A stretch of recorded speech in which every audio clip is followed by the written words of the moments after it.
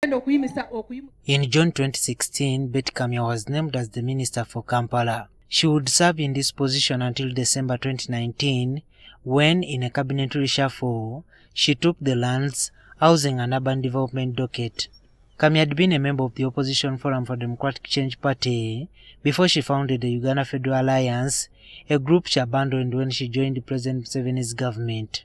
This time, Kamya's name was not included on the new cabinet ministers list. She has been appointed as the senior presidential advisor on land matters. So now, I don't blame the president at all. The people of Rubaga participated in the president's decision not to make me a minister because he needs, apart from people who work hard, he also needs votes in parliament. So I, I, it's not the president, it's really the voters of Rubaga who did not appreciate me. Kamya does not regret joining the NRM, saying she has achieved a lot in the short time she has been in the party. My entrance into politics was always to be in government so that I participate in decision making, in policy formulation, in budgeting. Those are the things that a politician wants. So if you're in the position for 30 years and you never get to do that, then I don't know what you're doing in politics. So I decided to join NRM because NRM is going to be in government for a long time. In 2016, the former minister promised to mobilize for and deliver the Kampala vote by 80% to NRM in 2021. pulezidenti njagala okweyama nti nga bwe watukwasa kampala pulezidenti 2021 kampala ogenda kufuna kinaana ku kikumi oba okweyongera waggulu Sadly, this was not achieved as most seats went to the opposition National unit Platform party. She says the dynamics changed because of the COVID-19 pandemic, but is hopeful that in the future the NRM will regain its popularity in the capital. Talk stopped about the roads. Talk stopped about all these other things that government has done.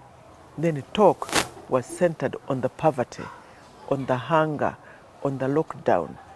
Kamya dismissed talk that President Museveni uses opposition members by appointing them cabinet ministers, explaining that he considers their potential. In my view, the president sees your potential in the opposition and fishes you to join NRM and gives you an opportunity. The opportunity he gives you, say as a minister, for five years, it is also to show the electorate that you are a hardworking, worthy leader. Kamya says that though she left the Uganda Federal Alliance which she founded, she is still in touch with the members. I explained to them that I needed to be in government because that's where policies are made, that's where decisions are made, that's where budgets are made. I mean, you can't spend 30 years of your life without ever participating in decision making, in policy formulation, in budgeting. What are you doing? And while she was Minister for Kampala, her achievements included, among other things, the construction of roads and amendment of the KCCA Act to create the position of a speaker, among others. You have driven through the road network here. Five years ago, this was a run-down, muddy, dirt, potholed environment around here. But in five years, and I want you to show the people on TV when you're going away, the road network around this place.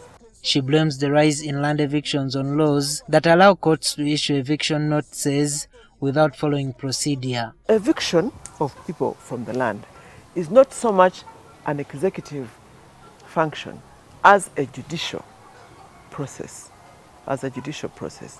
But we are planning, and I will hand this over to my colleague, Honorable Nabakooba, to bring proposed amendment to tighten the noose, the screws on acquisition of land and uh, eviction. As she awaits her confirmation as senior presidential advisor on lands, the former minister says she has embarked on taking care of her farm, giving her investments more time and spending with her family. Juma Kirya, NTV.